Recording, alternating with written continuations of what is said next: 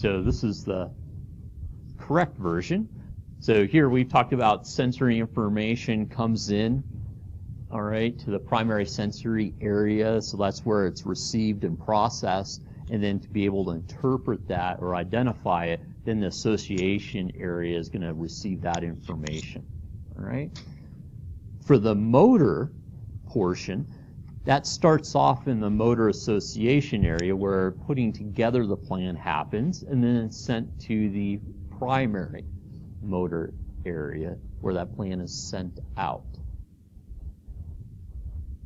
So here it's kind of bookended a bit. If you see something, right? And so if we think about taking a quarter out of pocket of a pocket full of coins, in which back in the day when something cost a quarter and the uh, vending machine, let's say, you know, you were able to figure out, okay, if I want to stick my hand in my pocket, right, that plan starts off in the motor association area, and then the physical actual, you know, that plan being sent out to be able to coordinate that is being done, uh, being sent out from the primary motor association area. And then you start uh, receiving signals, right, for feeling the coins in your pocket, trying to identify which one might be a quarter.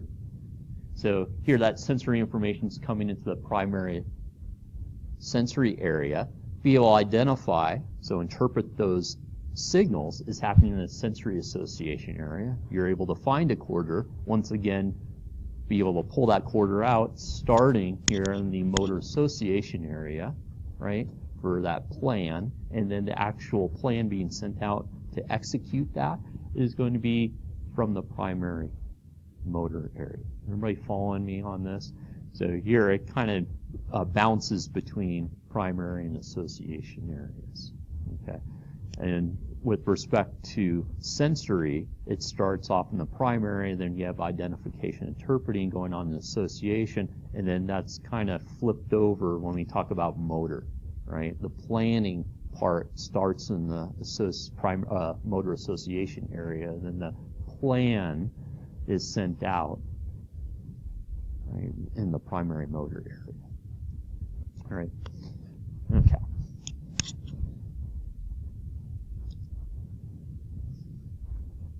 Okay, so here's uh, you know some of the structures. Remember, uh, we have our lobes. So hopefully you're getting comfortable with where the lobes are and the uh, demarcations. What separates one lobe from the next. So we have our frontal lobe, our parietal lobe, occipital lobe, temporal lobe, and then if we look separate this lateral sulcus, we can see in here, and that's our insula. That's our last lobe. And remember, we're only looking at one hemisphere, so remember, we have a right and a left temporal lobe, right and left parietal lobe, and so forth. Okay, so there's lateralization that goes on. One of the major structures we talked about is the central sulcus. So sulcus is what? Anybody remember? What's that? It's a sulcus. Yeah, it's a depression, right? So it's kind of the valley. And then on each side of the central sulcus, we have two gyri, or a singular gyrus. So what's a gyrus? Yeah, so it's a peak. Yeah, exactly. So not surprising you're going to have, you know, a gyrus in between two sulci, or you can think about two sulci sandwiching a gyrus here. So we have a pre-central gyrus and a post-central gyrus.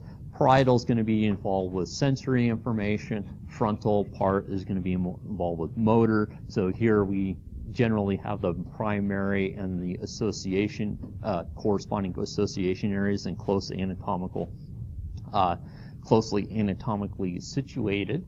And so here is where we have our motor, motor association area. Here's where we have our primary motor cortex. Here's where we have our sensory association area.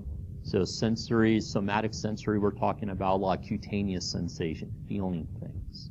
Um, all right, and so also what's happening, uh, that's those signals from senses the sensory information is coming into this primary sensory cortex and then sent over to the sensory association area for identification and interpretation.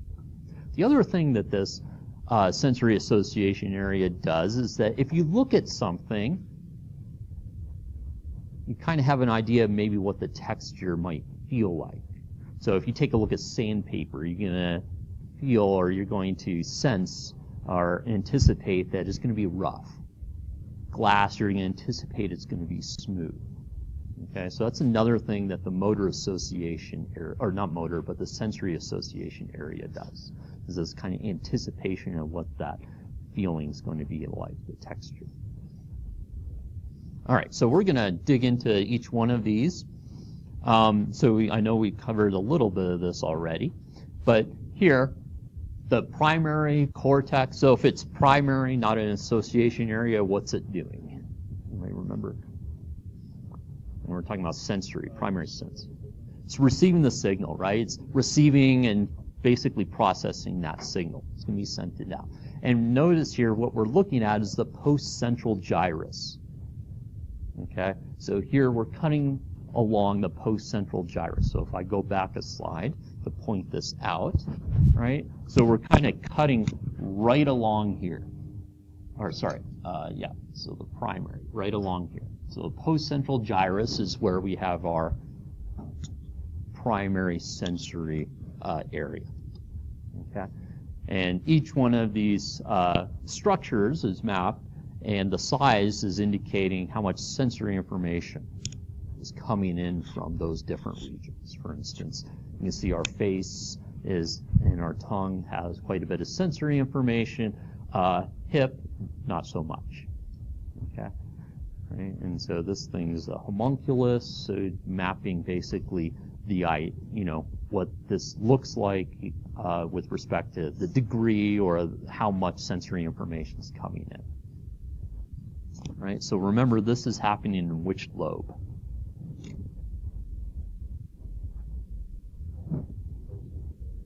It's in the postcentral gyrus, which is part of which lobe? Parietal lobe, right? And remember here we have a right and a left. So if we're talking about, say, getting sensations from our left fingers, right? Our left fingers, then the contralateral part of the primary somatosensory cortex is going to be registering that. So when I say contralateral, do you guys understand what I'm saying? Opposite side, right? What's the term for the same side? Ipsilateral, right? Okay, so ipsilateral. So contralateral and then ipsilateral. So here the sensory information decussates or crosses over to the other side for being interpreted motor association or motor is also going to decussate so that the contralateral side is involved. All right. So here, sensory, somatosensory association areas.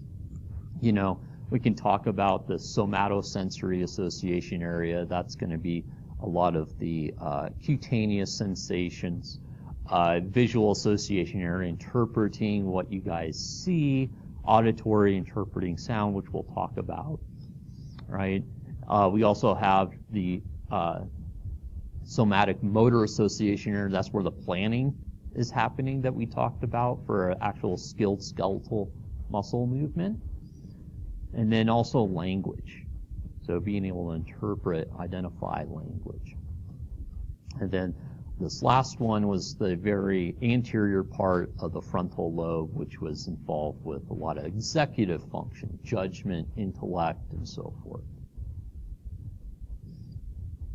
All right, so somatic uh, sensory is in the parietal lobe, right? And so if you're digging, you know, without looking into your purse, book bag, or your pocket, you know, trying to find something, a certain coin, for instance, you're going to be using this area of your brain.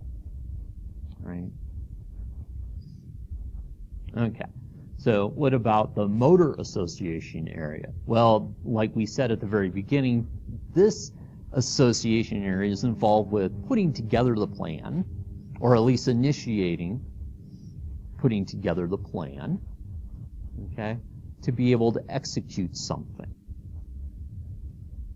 a skilled skeletal muscle movement, right?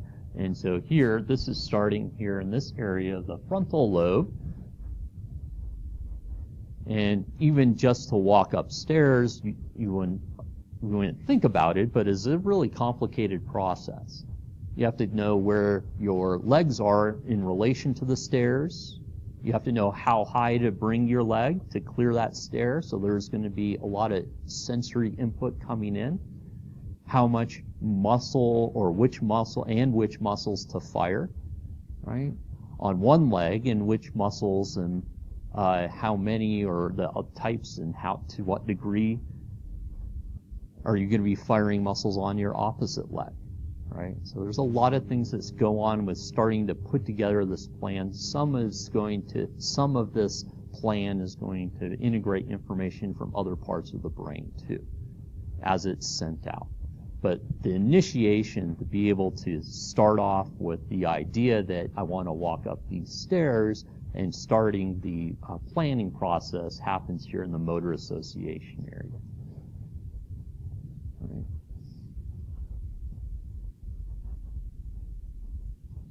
Now, yeah. Last slide, you had uh, some memories stored here. Mm-hmm. Is that like walking upstairs if you don't have Some some are. Some are stored in other areas of our brain, like the cerebellum. You know, so um, and then also think about back to the patellar tendon reflex, right? So some reflexes, you know, are kind of if you think about computer programs, there's kind of um, subroutines in the computer programs that are just used automatically, you know, that are integrated into that larger computer program. That's kind of what you how I think about reflexes. You know, those are kind of also um, hardwired into this, right? Um, and so it's not all uh, memories of skilled motor movement are housed here. Some of them are housed in other parts of the brain. And eventually they'll funnel into this um, plan that gets sent out. But the very start of making this plan up to be able to do this task starts here in the motor association. Yep. Any other questions? All right. So we've got a plan. All right, so taking a coin out of our pocket to be able to put in the vending machine. All right, and so here we have our, uh, you know, want to put the coin in the coin slot. So we have that initiation of that plan to do that, right? And part of that is to have all the skilled motor movement to be able to do that. That plan gets sent out via the motor, primary motor cortex. And remember, this is the precentral gyrus right? So here's our central sulcus. Here, here's our precentral gyrus. And this is all part of the frontal lobe. All right, to be able to execute that. And there's other places of our brain that's going to send in information to help integrate to be able to do this. Okay, so precise skeletal movements. Now, the other uh, part that we have that's involved with skilled skeletal movements is the movement of uh, our vocal or muscles involved with the vocal apparatus. So being able to, uh, you know, properly, you know, say words, speech. So here, we're not talking about, say, uh, generating speech. We're saying executing that speech, you know, a program. Okay, it's being sent out from this primary motor area. And this is also located, located in the frontal lobe. It doesn't have the word primary in it. So here, this area is Broca's, where we're going to get a lot of speech. Planning gets sent out, so it tells the facial muscles how to, you know, uh, coordinate so that they can actually do the speaking. All right. So if someone has a problem in Broca's area, what's that going to look like? What's that going to look like? So you could have a stroke in this area, so what's that going to look like? Well, we're talking about language.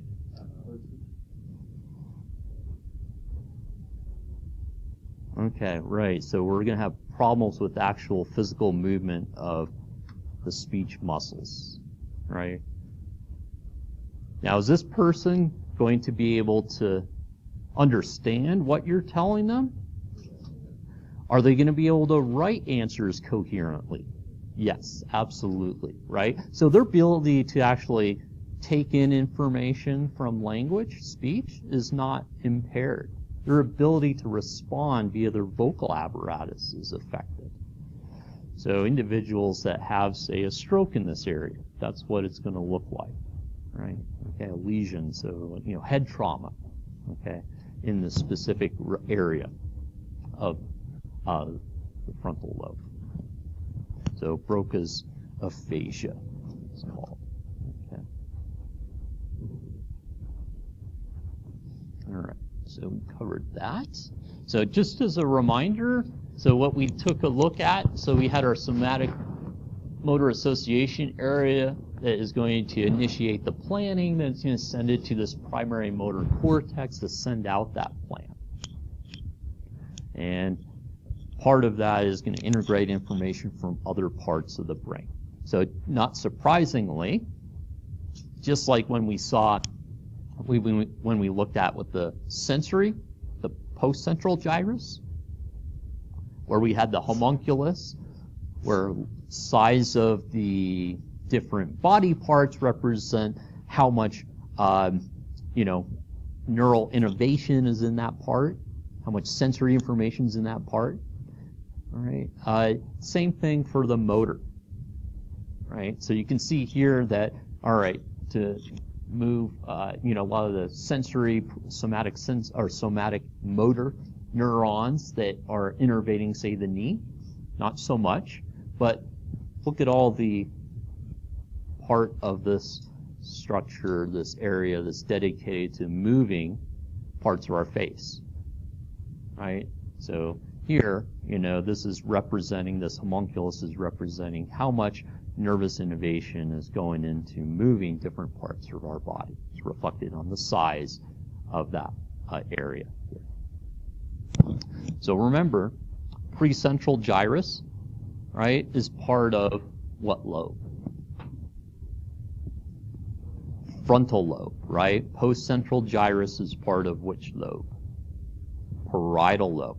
In both cases, we have lateralization. We have a right and a left. So here, if we're going to be trying to move, say, our right thumb, okay, which hemisphere is going to be initiating that movement? Left hemisphere, the contralateral, okay, contralateral.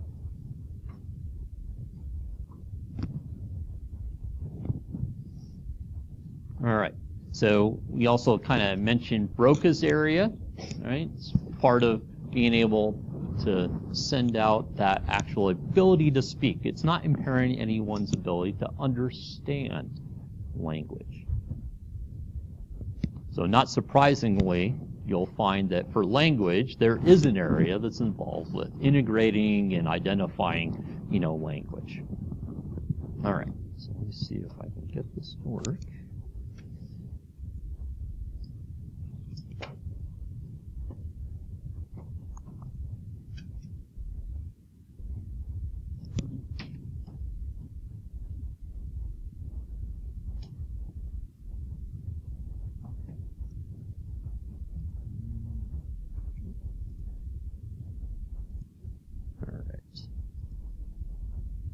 Understand what these authors did in their experiment, listen to this brief cue consisting of nothing but sine waves.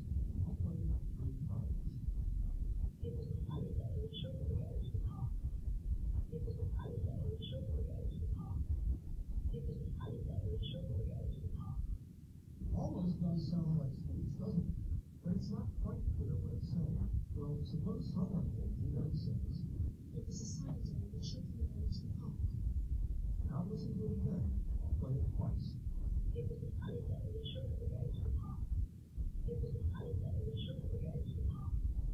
This time, it's almost impossible not to hear the words that the preconditions to hear. Let's play another one. This one is harder. I'll play the sine waves twice, then the words, then the sine waves twice again. The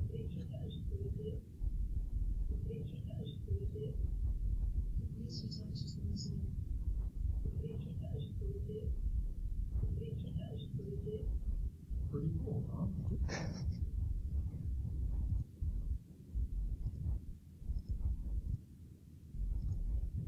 Right, so there was just random sine waves that were put together to make that audio recording. So it's like someone randomly hitting keys on a keyboard that happened to come out in something that you thought was intelligent, you know, or uh, a sentence that made sense, right? So what part of our brain's involved with this? Well, certainly sensory uh, sensory information is coming in through our ears. But to understand what's going on, that speech, all right, language, that has to happen in the area that's going to identify interpret it, right? So not surprisingly, there's a language association area, and that language association area is called Wernicke's area. Okay? And so that's, uh, if your uh, routing part of your brain thinks, oh, what we're hearing is speech, let's identify interpret it. it, is being routed to this Wernicke's area. Okay? And so that's what was happening when you guys were identifying this random sine waves as being some sort of speech pattern, you know, words. Uh, so here, after the, uh, you know, uh, you know, fellow told you what it said, you had now a memory, right? That you accessed. And so it made it sound like it was even closer to speech, right? It got routed, right? You weren't doing as much figuring out where to route it. Your brain wasn't. It was automatically thinking, oh, yeah, that's speech. It should go here for identification interpretation, right? And so that's what's going on. right? So here, the auditory association area, okay, that's where the sounds coming in is figuring out, hey, is, are these words, or is this just noise, is this music, okay, right? So maybe if you didn't hear the random sine waves as words initially, maybe it just got sent to an area that said, this isn't speech, this is noise, right?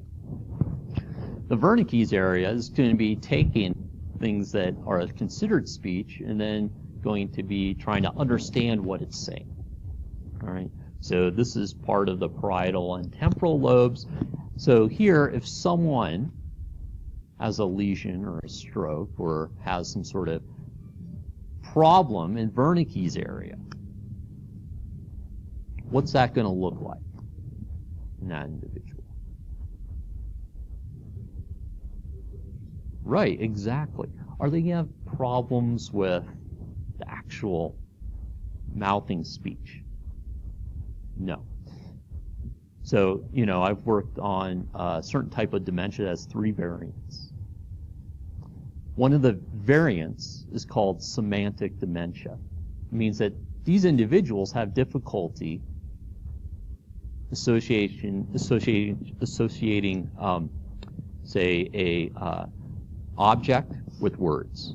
So if you give them a picture of a child flying a kite, okay, their speech is fairly fluent. But they wouldn't say, oh, that's a child flying a kite. Uh, they'll say, oh, this little thing is doing this with that. And so they generally have problems with coming up with understanding or uh, accessing that type of memory information, right? Now, they're completely fluent, but it may come out somewhat more like gibberish in some cases that are more severe. And just to round out the whole dementia conversation, there are certain types of dementia that affect the area that is uh, around Broca's area, right? Those individuals, they understand language perfectly fine, bless you. But what ends up happening is that they progressively lose the ability to speak. Okay, so it's called progressive non-fluent and aphasia. So progressive because it gets worse with time, non-fluent meaning that they're losing that ability to speak. All right, so we're talking about what happens if that, what it looks like if this is damaged. But remember, we also have these general interpretation areas. So here we have in the occipital lobe a primary visual cortex, an association area. Then here's our auditory cortex and auditory association area, where sensory information is coming in, gets processed, sent to a place that identify interprets it, and then sends it further to areas that are appropriate. For instance, if it's identified as maybe a speech pattern, then it's going to be going to Wernicke's area for further kind of decrypting, if you will. All right. Is it making sense between the primary and association areas? You guys have any questions up to this point? Yeah, go ahead.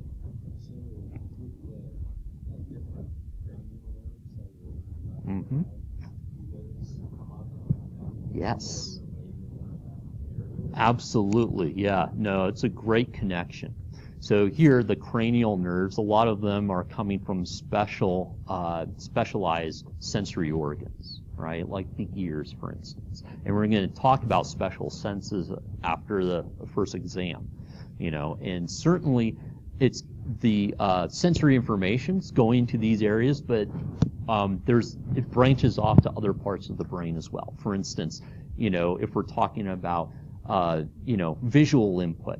We have to interpret visual things, but we're also getting information that is important for regulating sleep-wake cycle, circadian rhythm, and that's being routed to other parts of the brain as well.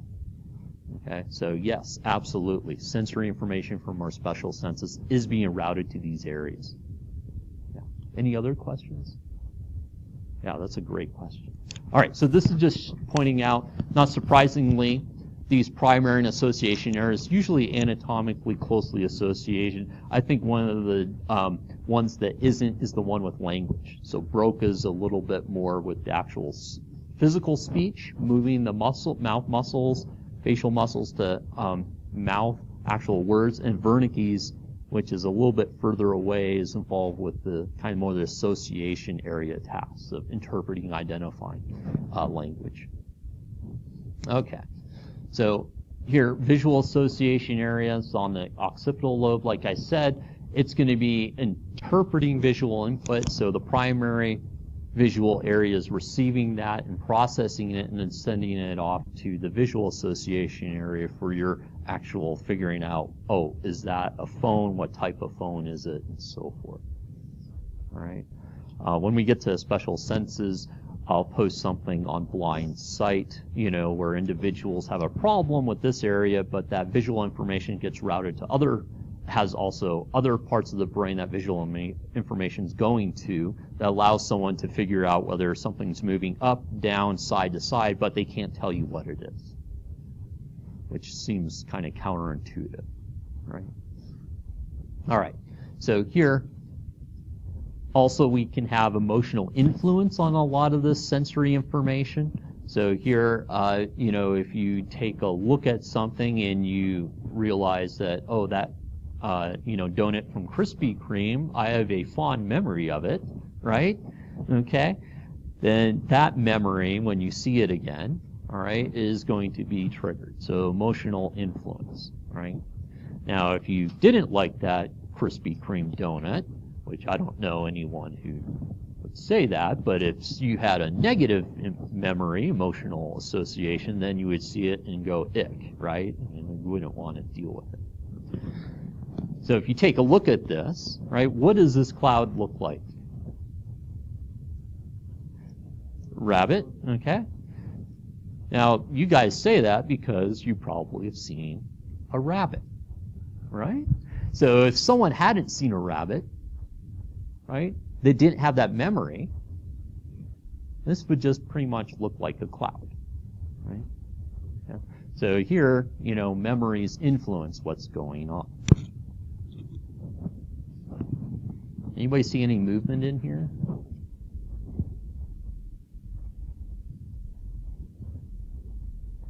Yeah, so it's a bit of a tricky. So here, your eyes you know, you would think, you know, this is being tricked to figure out, okay, you know, that looks like at one second there was some movement, but then, and then there's really it's looks static. So it's kind of figure your brain's trying to figure out what's going on with this, right? So once again, you know, this is you know using that visual association area. And so what are people seeing here? So vase.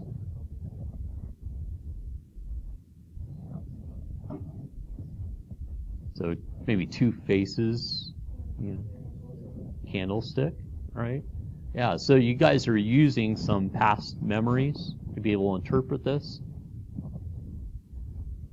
But once again, are we looking at, you know, uh, the white or the black, right? To be able to figure out what it is. And then here, if you look at this from far away, what does this look like? Okay, skull. So here, looking at far away, it looks like one thing, and then when you look up close to it, what are you seeing? Yeah, so basically, you know, uh, two individuals, right? Okay. So here, you know, the visual information is trying to access, or the uh, part of your brain is being ac- is trying to access memories to figure out what does this look like from what you've seen before. All right. So, like we talked about, the prefrontal cortex, decision making, judgment, intellect, a lot of these, what we call executive functions, are happening here. And so, this is kind of the last association area that we're talking about. Um, you know, that's part of the cerebral cortex. So it turns out that personality and behavior are also part of this area. So if someone has this part of their brain affected, damaged, what does this look like?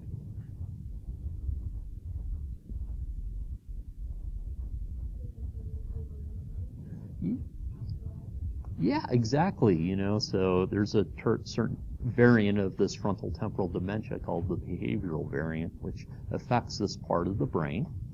And these individuals undergo personality and behavior changes, which is really impactful because a lot of times the caregivers for these individuals that have neurodegenerative disease are family members, family members that have lived with them for decades, who know these people, they know their personality and behavior, and then all of a sudden they're changing that personality and behavior. So it's emotionally very difficult. And so a lot of times people that are, uh, you know, uh, saying, uh, are very sensitive and appropriate in conversation to become the opposite.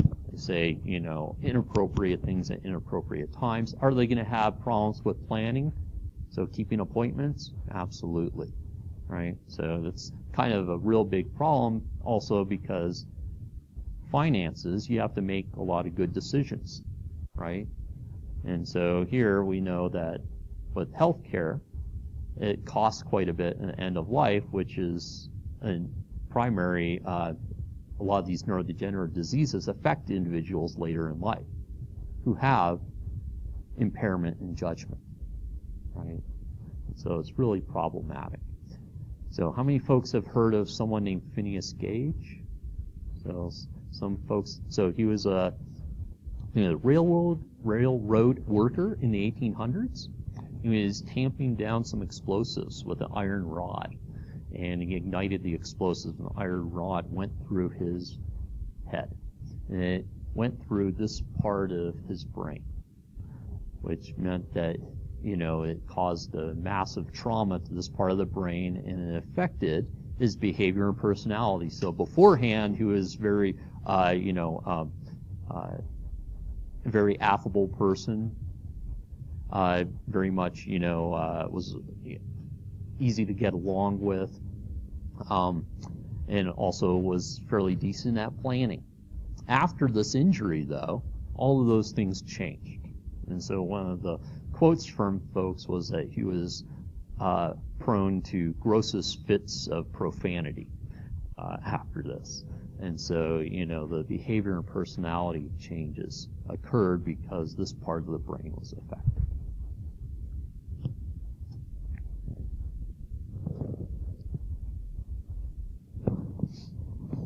Okay, so just taking a look at these, so we have the primary and association areas, and so these are some of the major ones. And so generally we have the corresponding primary and association area. Remember for for language or speech here, you know, they don't have the word primary and association, unfortunately, in their name.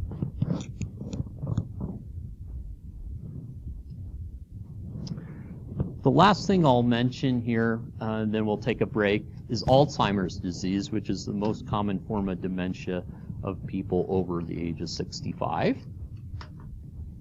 And it is going to be affecting the cerebrum primarily. And so when you guys see mild versus severe Alzheimer's disease, what does the difference in the brain look like to you guys? What differences are you seeing? More spread out. You see a little bit more spaces in the severe than you do the mild. Anybody see anything else? I think that's the big one though, right? And so you're kind of losing some mass. So if you take a look at, you know, this area, okay, it's quite a bit larger, right? Starting to see shrinking of that cortical areas, which means that we're affecting a lot of neuronal function of the cerebrum. And so here, there's still a lot of research being done on Alzheimer's disease. Uh, you know, the exact molecular mechanisms uh, that are contributing and to what degree they contribute to uh, the pathology or the uh, disease itself. It's not completely clear. What we do know is that there's this decreased acetylcholine, which is a neurotransmitter used in the brain, and that there are neurons that die um, it's generally uh, considered because of toxicity from certain proteins that build up, all right, that are known as plaques.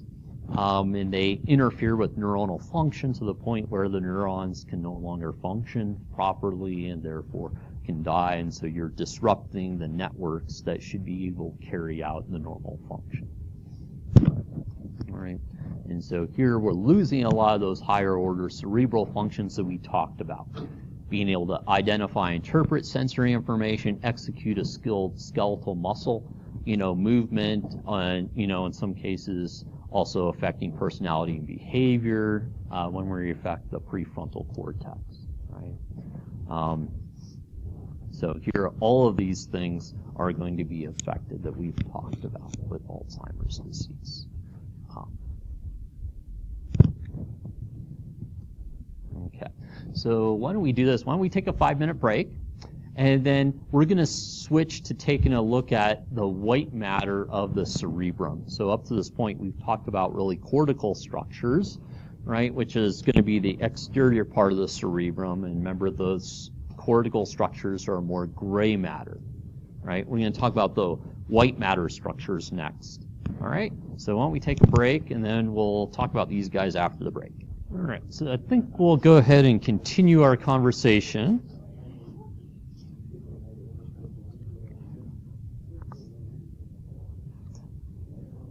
All right, so up to this point, we've talked about gray structures of the cerebrum, okay? So, so we've talked about gray structures of the cerebrum, which is the outer portion. So if we're talking about gray structures, what are we looking at here? Non-myelinated structures, right? So here, the white matter structures are going to have what? What's that? Myelin, right? So myelinated structures, which are going to be mostly axons. Anybody remember what myelin mostly is made up of. So it's a cell membrane wrapped around axons, right? So what's made up, what's making up most of the cell membrane? What's, what's that? It's Schwann cells, but part of the Schwann cell that is wrapping around is a lot of the cell membrane. What makes up the cell membrane? Phospholipids. So is that going to be, is if you look at white matter versus gray matter, which one is going to be more fatty? White matter, right? Because it has those lipids. Okay. So it's one of the reasons that the brain is kind of considered fatty tissue is because of all the myelination. All right, so here, the white matter here for the cerebrum is going to be interior. So part of it's located here, and it stretches to other to the other side of this hemisphere. All right. Other parts of the white matter are going to be located in this area here. Okay. All right.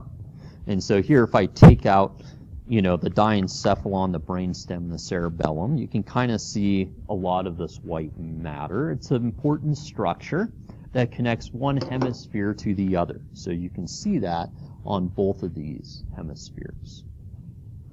That structure is called the corpus callosum. It allows one hemisphere to communicate with the other hemisphere. Right? And so you can see that if we take a look at a frontal or a coronal section here. And so that's what this is. Right? So there is an important structure, white matter structure, called the corpus callosum. It allows communication between the hemispheres. And so here, what are these areas here?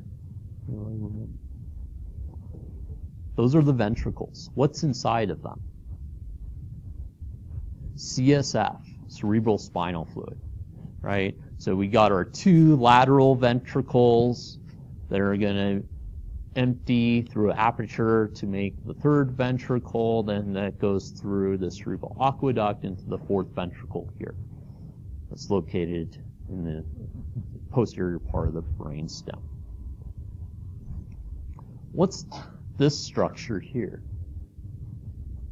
It is a cerebellum, right? So it's this kind of back part of the brain that we'll talk about in the very last, right? Cerebellum literally translated as small, small cerebrum. That's what it translates to. Okay, so here these are going to be myelinated. They have axons primarily, which means that they're kind of highways to be able to connect different parts of the cerebrum to different to other parts of the cerebrum as well as other brain structures. Right? So we have integration of information. So corpus callosum is one major one. The other ones are locations of some of this white matter deep. Okay? right? So here, the white matter is going to be important for connecting different parts of our brain to lower brain centers. So not surprisingly, if we have sensory information coming up, in some cases it's going to go to some white matter structures and then sent out to gray matter structures, a lot of which we've talked about. Cerebral gray matter structures. So those primary and association areas. Okay? Some of the deep gray matter structures, okay, are called nuclei here in the brain. So not nucleus of a cell or nucleus of an atom, but nuclei with respect to nervous tissue. So here they're gray matter, which means that they are um, going to be groups of myelinated part of the neuron or not not myelinated part of the neuron. So here's where we have actual connections going on, right? Where we have synapses, where we have a relay from going from one neuron to the next, where we have synaptic transmission going on. It's happening a lot in this gray matter that's in the deep part of the brain. You don't have to know all of these nuclei. There's a whole bunch of them that people are very interested in for a variety of reasons. But here, this is, if we have synapsing going on, this is where information's coming in and being integrated in, or information's coming out and being sent to different places. Okay? So here, this is helping with fine tune that, say, motor plan as it gets sent out to our skeletal muscles. Right? So here, there's going to be basal nuclei that's even deeper. Okay?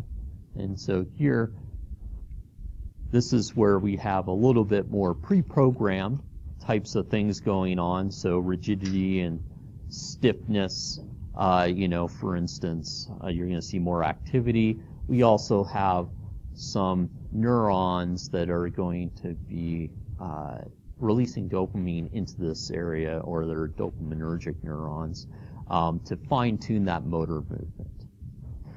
And so those neurons start in a different area that's located in the brainstem, and so they do what we call project, which means that they start here and then they go and they end their synapse, their axon terminus ends someplace else. Okay, so they start, you know, in the brainstem area and they project into this area to be able to fine tune this movement.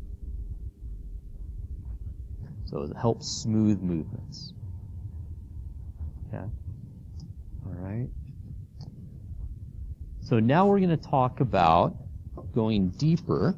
So if we take a look at our brain here, okay, so we're going to take a look at a structure that's called the diencephalon. One of the major structures of the diencephalon is this guy, okay. You can see here and how it fits in. If I can get it in there. There we go. Fits fairly deep in there, okay right? And we have one on each side. That structure is called the thalamus, right? The thalamus. Okay. So here's the thalamus, and then located just below it, standing in this area, is something called the hypothalamus. Okay, the hypothalamus. Right. Those are two major structures of the diencephalon that we're going to talk about. And because the pituitary gland and the pineal gland are kind of related structures or anatomically associated, we're going to talk about those as well, even though they're not necessarily considered part of the diencephalon. So here's our thalamus up here, okay? Extends to this area where we have our hypothalamus, okay? That is going to project down into this little area, which is called the pituitary gland. Okay? So hypothalamus to the pituitary gland. On the posterior part is where we have the pineal gland, right? The pineal gland. When we get into the endocrine section, we're going to talk a lot more about the hypothalamus and the pituitary gland. We're just going to briefly mention them in this section. Yeah, I'm going to do that. So here, okay, so here's going to be part of our uh, thalamus. And here's our hypothalamus, and then this is our pituitary gland here. In the posterior, we have our pineal gland.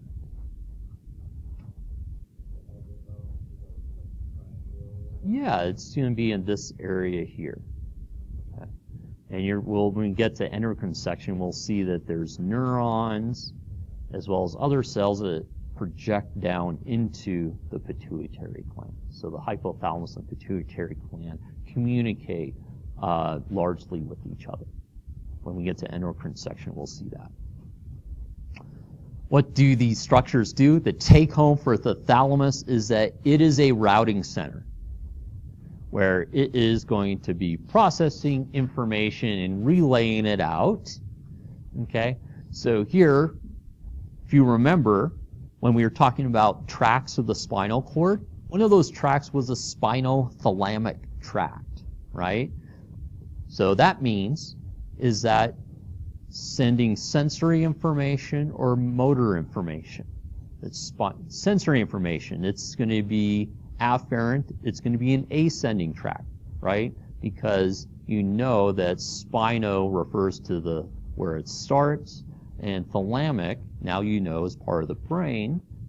Where it ends. So if it starts in the spinal cord, it ends here, it means that it's going this direction, which means that it's sensory information.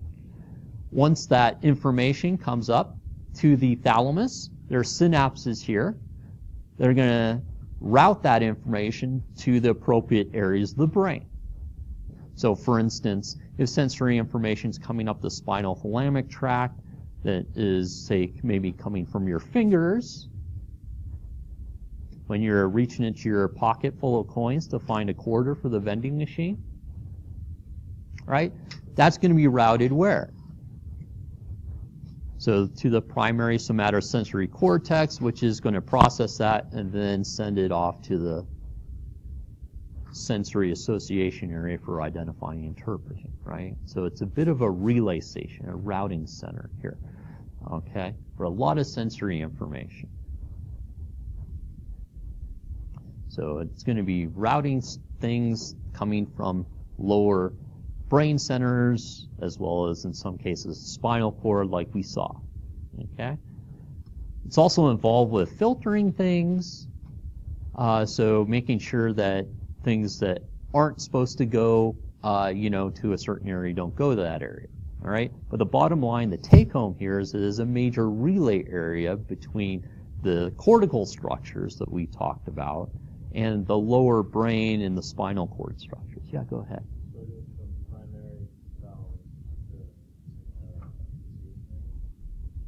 Mm. Well, where are we starting? Okay. So, so you, you got, where's your start with the receptors? So they're in your fingers, right? Okay. And so that's sensory information. What's the first, so what's the first part of the CNS it's going to go to? What's that? certainly mechanoreceptors, but what part of the CNS is that mechanoreceptor uh, signal going to? So what part? So the CNS. So you got two options: brain and spinal cord. Go to the spinal cord first, right? And so here, if you're tracking this, if you're writing it out, right, sensory information is going along into the spinal cord. So it's going along the dorsal root into the dorsal horn. And then if it's going to be going up to the thalamus, it's going to go along what tract? What tract? The spinothalamic tract. Yep. Right?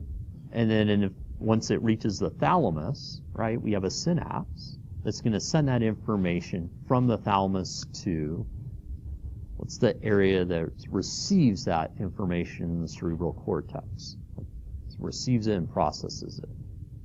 Is that a primary or an association area? And start there. Primary, right? So that'd be the primary somatosensory cortex, right? That's going to process it and send it off to the area that does identifying and interpreting, which is what? Association area. Right? Okay. So here what ends up happening is it gets routed along your peripheral nerves to the spinal cord, and then from the spinal cord up to your brain via a tract, in this case a spinal thalamic. There's other tracts, some of which, not all, are going to relay through the thalamus. And then the sensory information is always received in the primary area, and then the identifying and interpreting is always done in an association area for sensory information. So think of association areas, you should think about identifying and interpreting. So figuring out whether that coin that you're, uh, you know, uh, have in your pocket is a quarter, for instance. Does that help there, Sean? Yes. Yeah. So, fantastic. Thanks for the question. Yeah Yeah. right? Okay.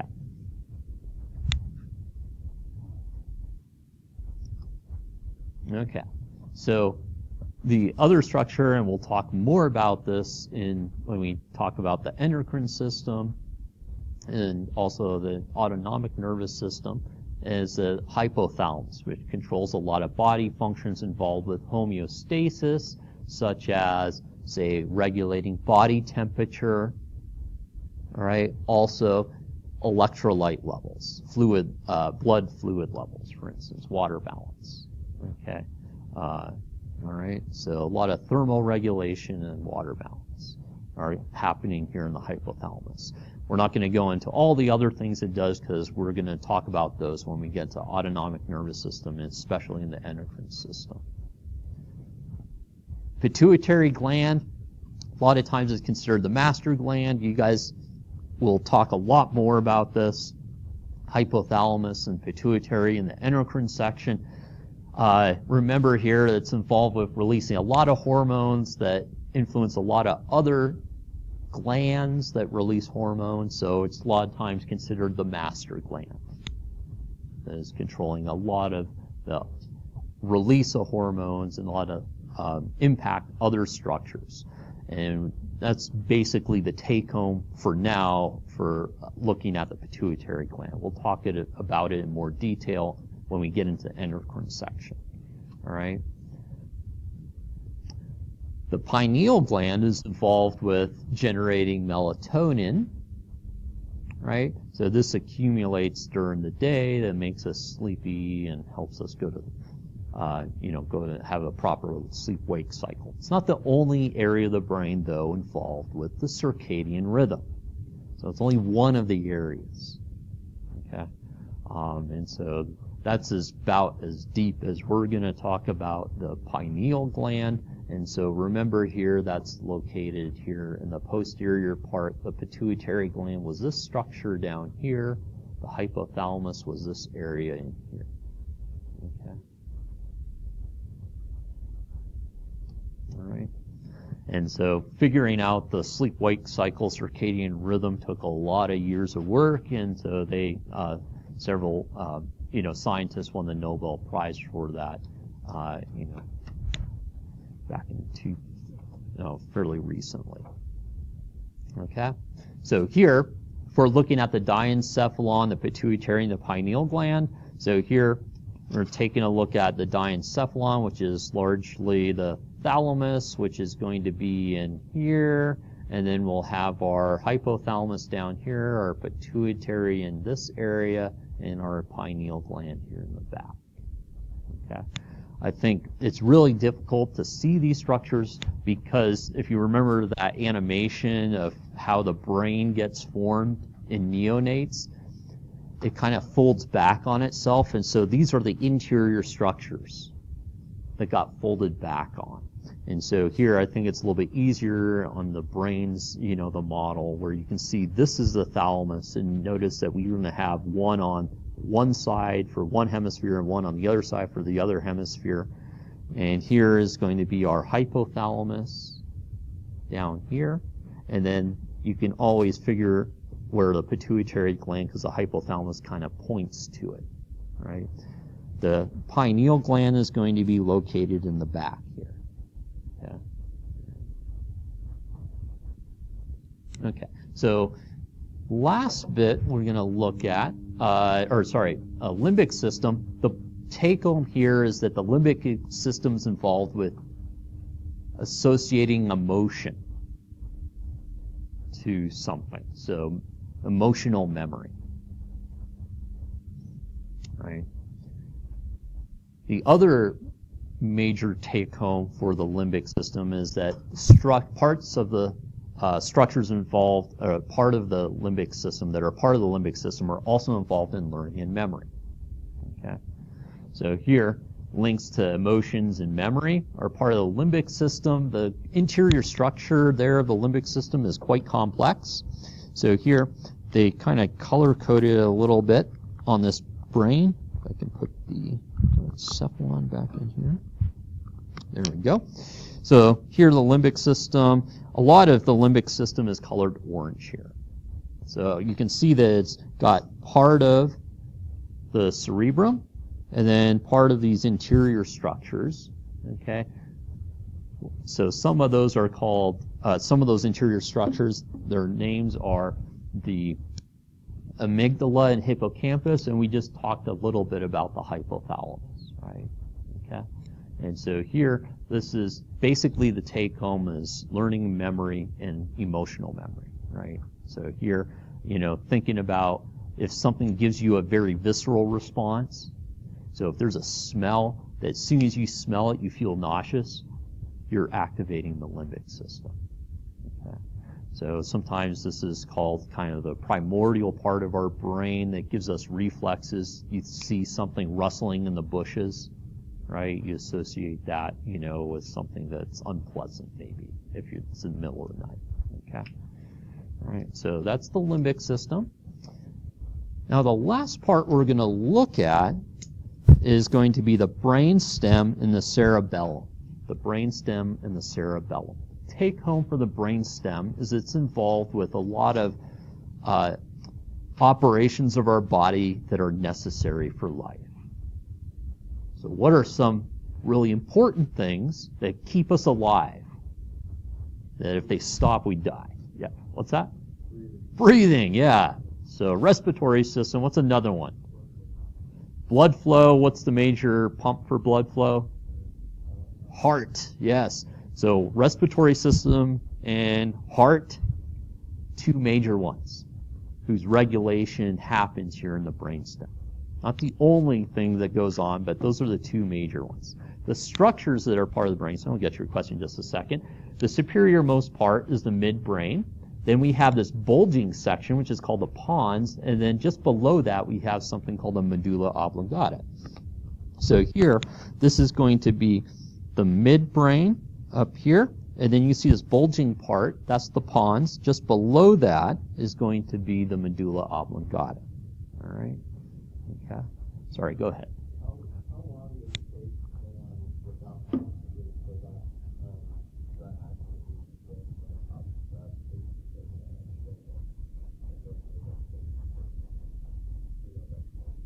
That I think it's pretty. I think um, oxygen. Not terribly sure on that, but the neuronal structures are very metabolically active. So depriving them of oxygen or a glucose source causes uh, a lot of brain damage. I know uh, if you disrupt brain flow so that you disrupt nutrients to the brain, I think uh, that happens within 10 minutes. Yeah, so it turns out that um, even though the brain's only roughly 2% of our body, you know, weight, it does, it gets about 20% of our energy. So it's, I, I don't, I, it's not very long. It's not very long. It doesn't take long at all. Okay. So the midbrain has a lot of reflex centers.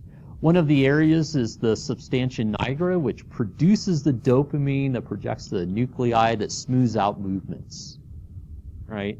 And so here, this is the area affected in people that have Parkinson's disease.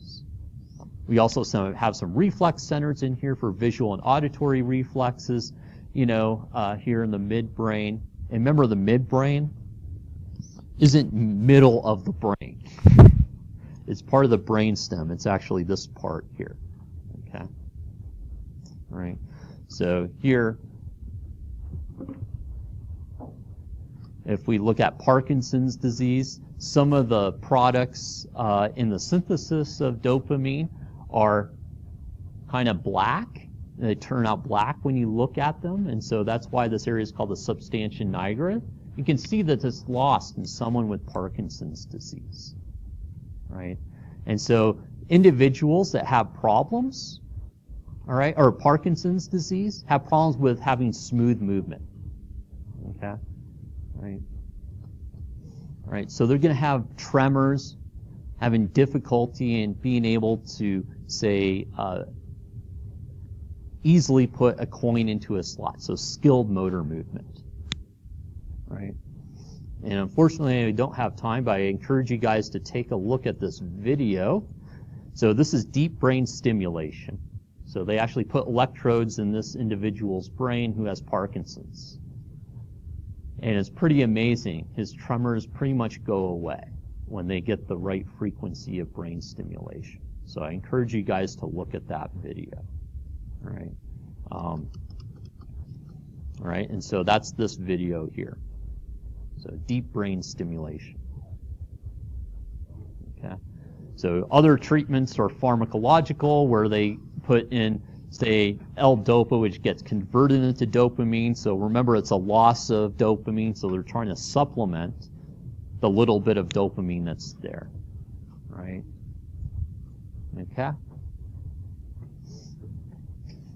So this is going to, you know, uh, talking about what you guys said.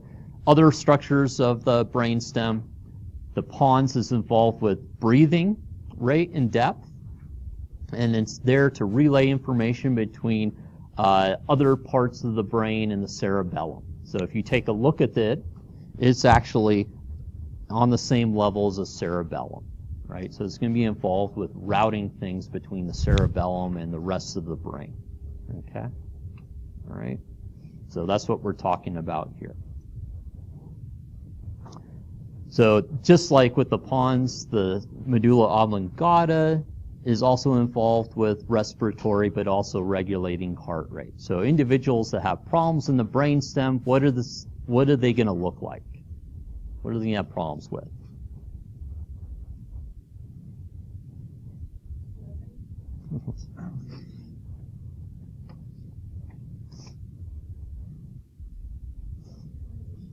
Yes, respiratory issues, cardiovascular, and also they may have issues with, you know, certain responses, right? Visceral reflexes. Okay? All right. So be sure to be able to ID the structures and just know the take home. All right? And the last one was just taking a look at the cerebellum, which is involved with coordination of movement. So postural reflexes is a major take home for the cerebellum. Okay? Right? Um, and so that is going to need, you're going to need balance and equilibrium for that, right? So that's going to be a major issue, right? So go through these structures and areas, know what the major take home is for each one, and that's going to help you understand what's going to, what that is going to look like for the individual if that area is damaged, all right? Okay.